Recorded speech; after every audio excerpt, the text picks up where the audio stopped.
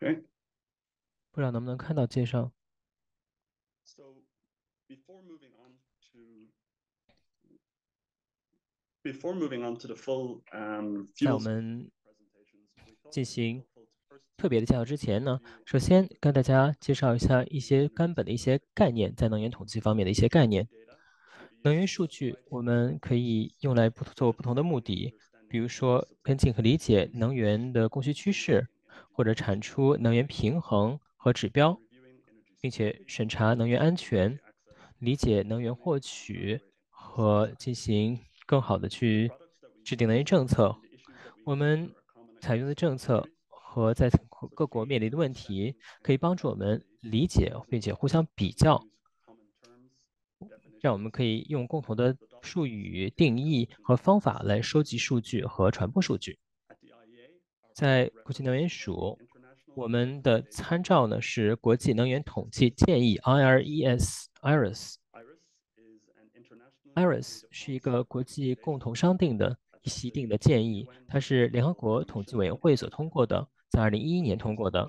它的目的是要保证各国之间在数据上可以互相比较让我们的共同的使用标准和共同的标准定义和术语。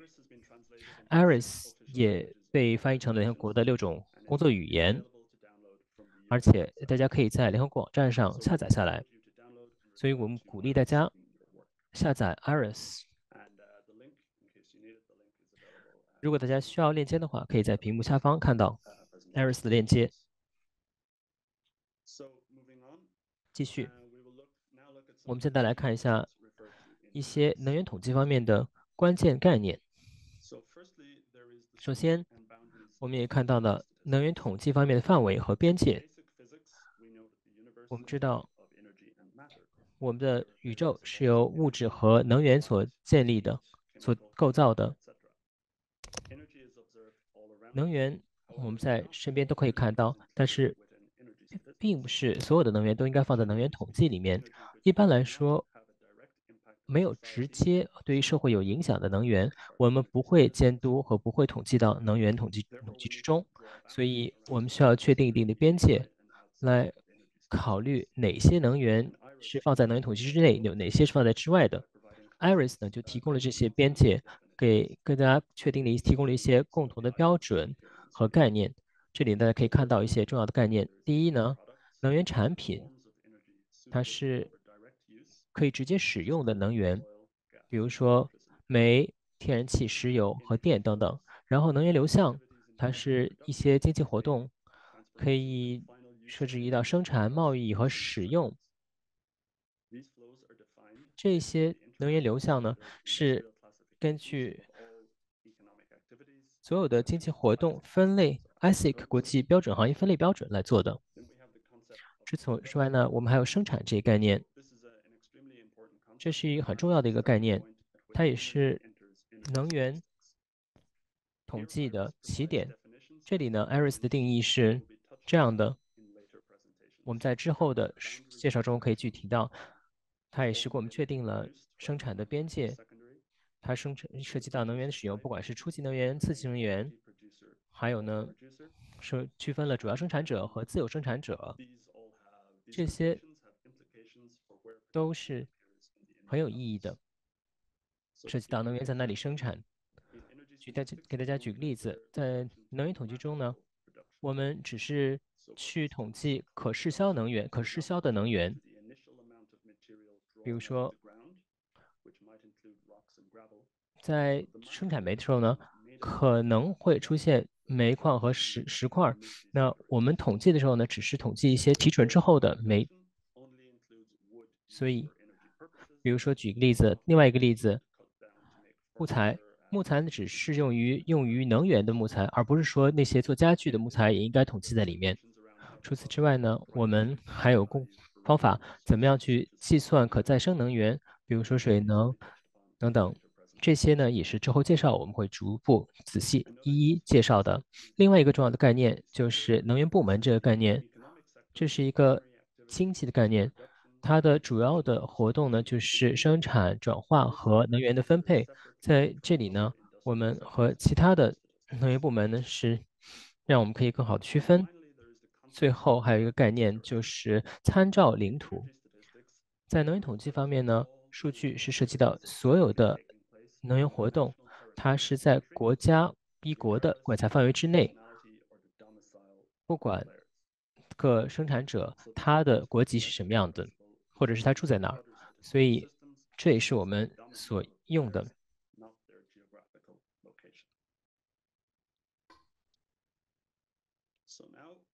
现在我们来继续看一下我们的第一个 Menti。我们之前谈到了 Menti 呢，大家在网站或者是用 App 上都可以使用。我们看到了一些参会者呢，在开始的时候已经加入了我们。如果要用 Menti 的话，就是我们的互动网站，大家可以用 www 点 menti 点 com。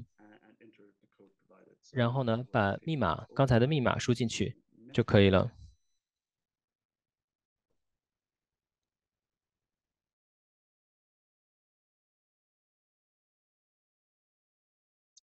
Okay, so the question is, uh, which are included in 接下来问题是，每一个国家的能源平衡应该要包含哪一些项目？包括比如说自然天然气。还有来自于采煤的呃排放，呃用于呃煮饭的、烹调的这一些呃燃烧的木材、电、人员用电，还有这个用于相关的这个天然气的使用。大家认为现在屏幕上列出的这些有哪一些是？应该计算在国家能源平衡里面。好的，我们这边收到了一些答案。嗯，最多人投的是呃用于供热的自然气、天然气，以及烹调用的燃烧用木。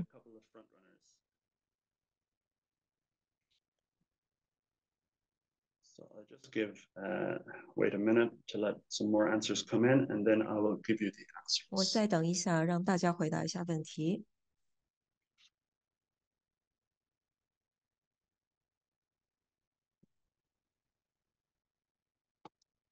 Okay, so we have 36 answers for natural gas used for heating. 三十六票投的是呃供热用的天然气。Um,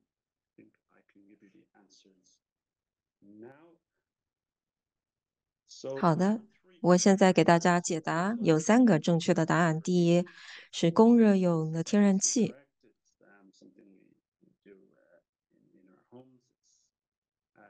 energy use of natural gas, so that one makes sense. Then um, all solar energy reaching that country. So we do include solar energy. 我们也包含，比如说天太阳能，在我们的这个能源平衡里面，We only we consider we only consider energy that is used directly 我们只考虑到直接使用呃，影响社会大众的能源，所以呢，这在整个能源统计当中是我们需要注意到的。当然，我们在比如说庭园中或者在呃街上，可能也收到了一些太阳能，或者是接受了一些太阳能，但这些不会呃列入我们统计数据的范围。我们只使用只考虑那些直接使用的呃太阳能。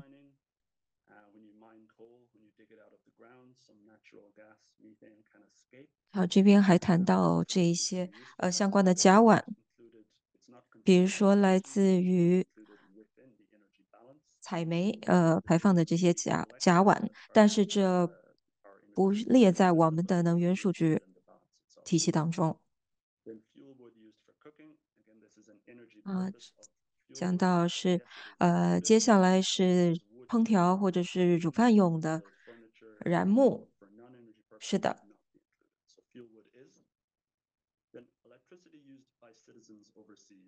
还有在海外的人民所使用的电力。如果我们看每以国家为单位的能源收支平衡，我们假设说一个法国人，呃，他在国外，比如说去了德国，他的用电不会影响到，也不应该被列入到我们国家的能源计算体系当中。因此，在整个国家的呃这个能源平衡体系当中，不将它考虑在在内，我们只考虑到在本国内国民所使用的能源。最后讲到了氨原料，呃的天然气，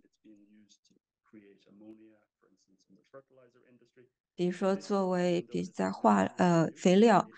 呃，工业当中的氨原料，虽然这不是直接的能源使用，但是呃，的确呃是算在天然气的使用当中，这的确影也影响到国家能源平衡。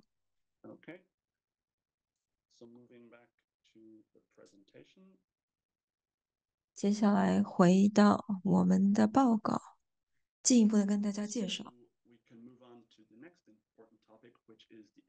接下来非常重要的是要讲到能源的平衡。我们另外在第四天还会有这个相关的主要呃专门的课程，但是我现在是初步的跟大家介绍一下。星期四大家可以更细节的进一步了解。那么根据 Iris，呃，它是一种这个呃会计的一个框架，呃，用来采集数据。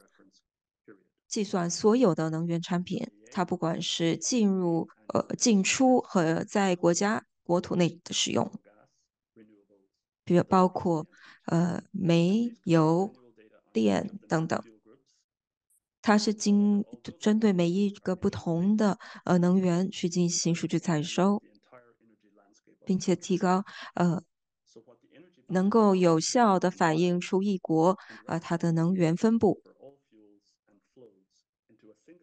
而且呢，它也通过一个会计体系，把国家的能源产出和进口与全球的能源产出呃进行平衡。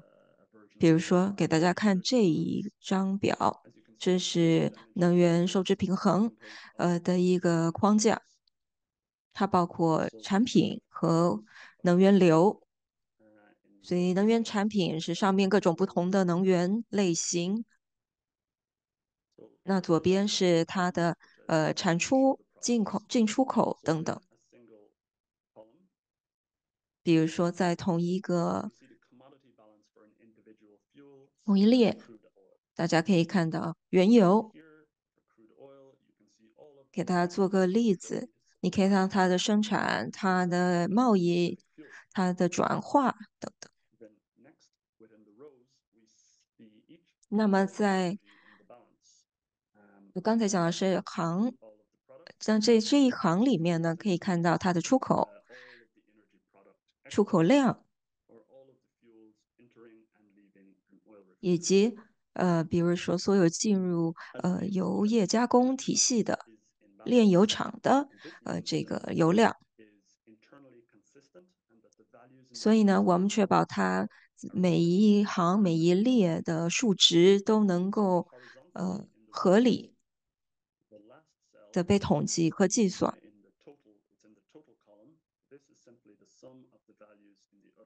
那这只是呃所所有的每一个国家所提供数据的总加。那么之后大家会看到会有不同的提供、供应以及转换的这个油量以及能源量。那么要达到这个收支，所谓能源的收支平衡，大家可以看到，KTOE，它是油当量千吨来计算，这是非常重要的。我们所有的统计数据都一定要有一个统一的单位来计算，否则我们无法进行比较，它也就失去了意义。所以我们需要呃一个统一的单位。最后，因为这些所有的数据，我们可以让我们把它加总，呃，确保所有的总加数据以及呃高级的数据指标，呃，能够由这边来产生，比如说总能源供给，或者是呃根据 GDP 的能源供给等等。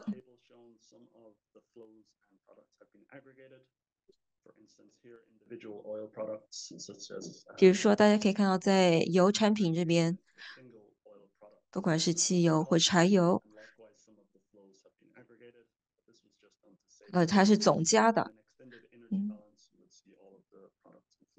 接下来大家会可以，接下来还会有进一步的细化的数据，所以大家可以看到，在我们的能源报告体系当中所用的。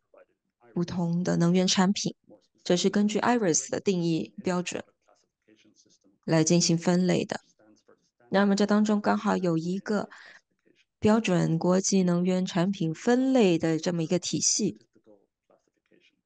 它为整个统计数据分类呃建立了一个系统和结构。这当中呢有十大呃族群分类。包括呃煤、油、生物燃料等等。那么在每一个这个分类的群组当中，会进一步的细化它的分类。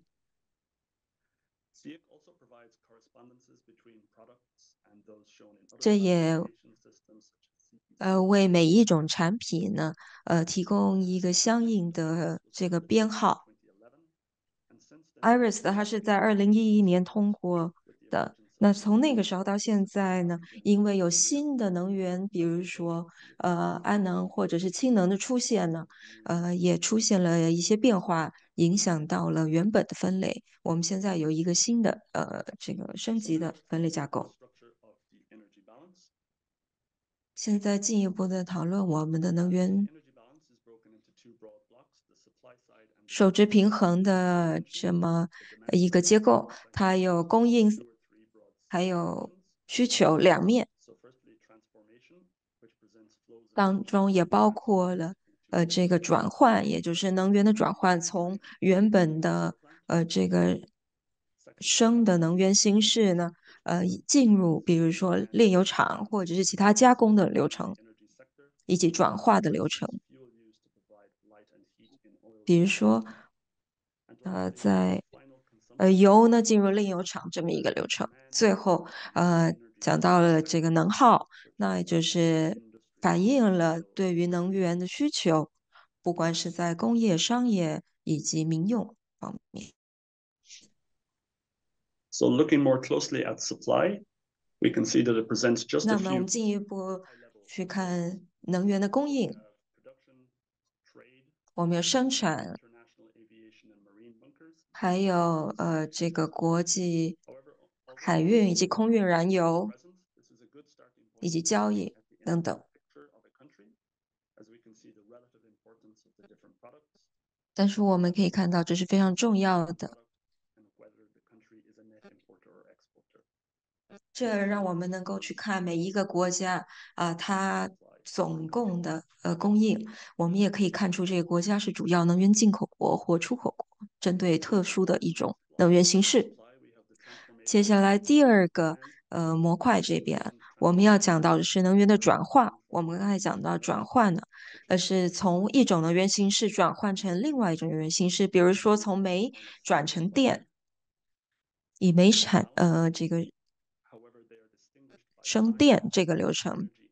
那么这边我们是以电厂来作为这个转化的媒介。比如说，从呃煤这边的，它进入了转化系统，可以生产出多少的电量？我们必须要确保，呃，这个呃当中的损失呢，也被我们记录下来。我们把它放在 total，就是总量的呃这个这一行这一列当中。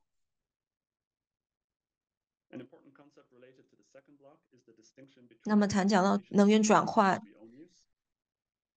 呃，给大家用油炼油厂做个例子，比如说原油，呃，它被转为呃汽油，那么它的这个输入是以原油的形式，那么输出产出是以汽油的形式。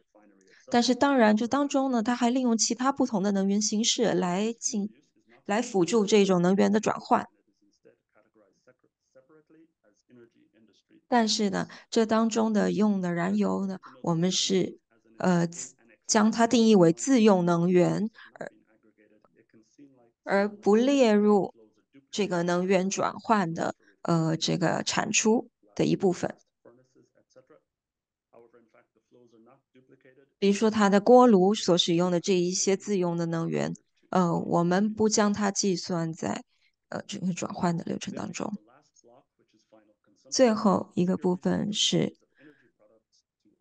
呃能耗，所以可以看到，在能源工业以外所使用的能源所消耗的能源，包括其他的工业、运输业，不管是民用的、商用的、公用的、能呃农林渔业等等所使用的能源，比如说。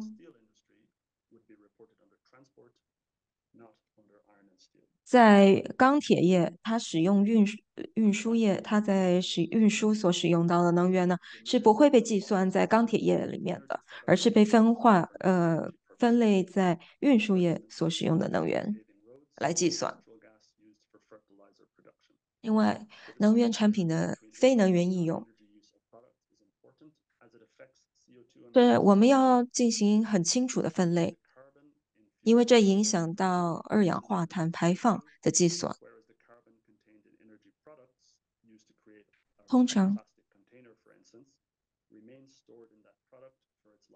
比如说在一些呃有二含碳的产品，比如说在塑胶、塑料的生产，或者是肥料生产里面。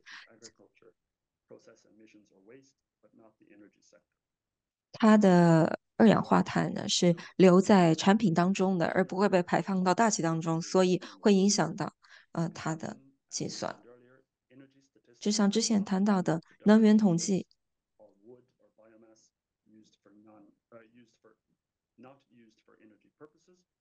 我们呢不计算那一些不用于能源的呃生产目的的呃生殖能。比如说木头、木材，它如果是用于生产家具，那当然不能够被计算在能源的使用里面。这边大家可以看到，我们的收支平衡是能源的这个供需平衡是怎么来计算？当然，能源供需必须要得到平衡，统计数据上它必须，呃，要能够取得一致。但是呢，它是其实在实际上非常难达到，特别是关于呃能源的这个能源数据的可获得性，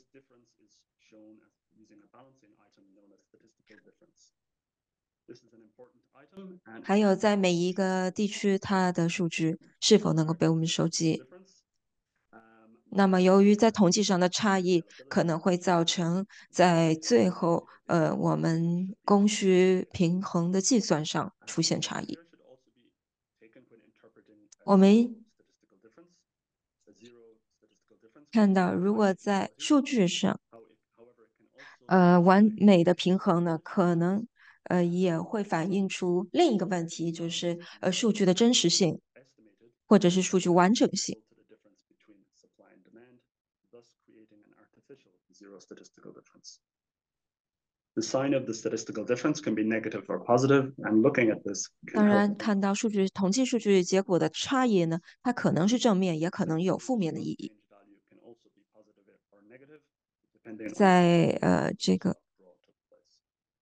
库存的差异、库存量上的差异也是如此。所以，全球的能源。流可以通过这么一个三体的图表来表示。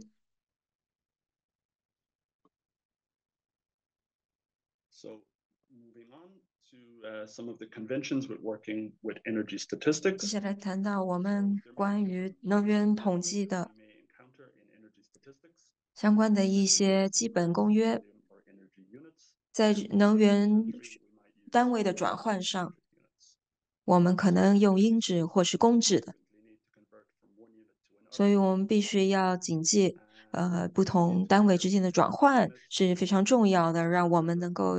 呃，以标准化的方法，呃，来比较不同的数据。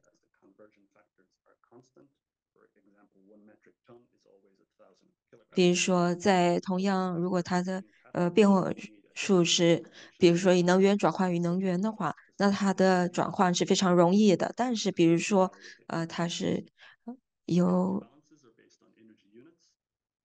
值去转化为量的话，那就会比较复杂，因为它必须要考虑到呃能源或者是特殊产品的密度。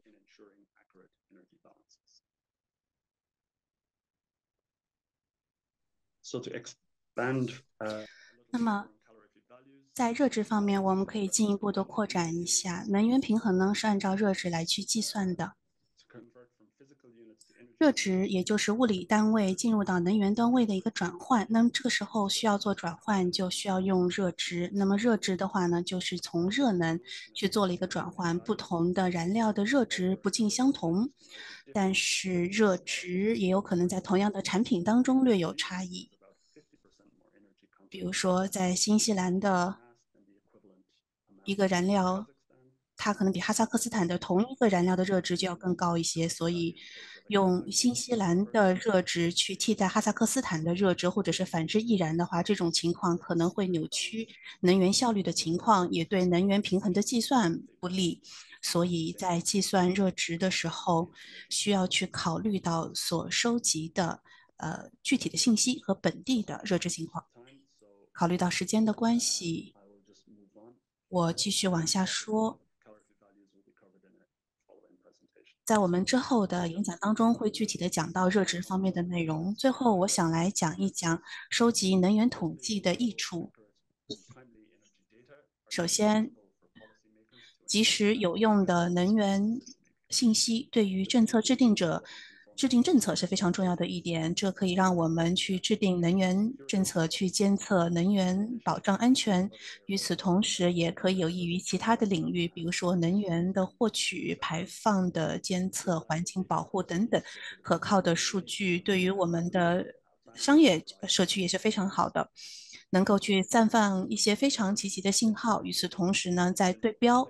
方面如此也是如此，给民众提供更多的信息，让他们更好的了解能源使用方面的内容。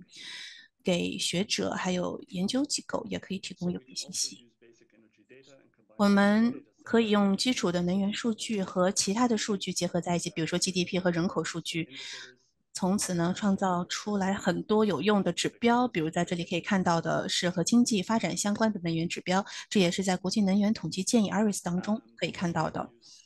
同时还可以和 GDP 人口的数据结合在一起，有的时候呢，创造出来不同的指标，去提供不一样的视角，这也是有用的。比如在这里，我们可以看到人均的能源供应总量，这是逐渐增加的。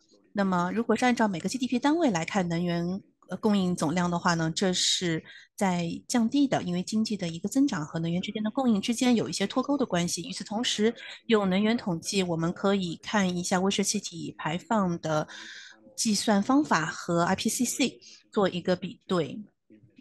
在这里看到的是从可燃呃燃料里面所产生的温室气体的排放。那这种高度的能源统计数据可以让我们看到能源平衡的情况，用汇总的方法。去看，比如呢，把居民住宅这个方面切分，呃，制冷、供暖、烹饪方面来划分的去看，可以有更加高效的能源指标，让我们更成功的去追踪能源政策带来的改变。当然，这需要很多的数据，而且也需要在数据收集模板方面出现一些变化。所以，作为能源统计专家，我们需要了解收集数据的要求。这样才能够在能源统计的时候让数据的质量更加可靠。